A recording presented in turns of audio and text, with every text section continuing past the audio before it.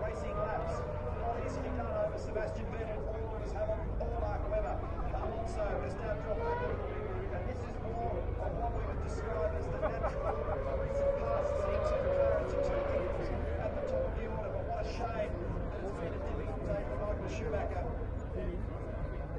A semi-difficult day for Nico Rosberg, who still finds himself out there, but down the order now in position 8.